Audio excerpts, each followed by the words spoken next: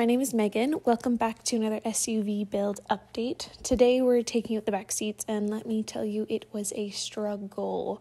Every bolt gave me a hard time, especially this one. Eventually, I did use my foot. There were like nine other bolts, but a couple hours later, we had our first departure. Quick little happy dance, and I took the seats out the other side, and wow, look how spacious she is.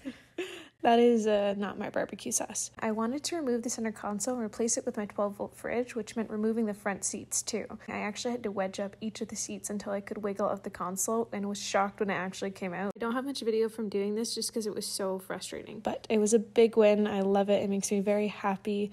I forgot to put my shoes in there. Um, ta da!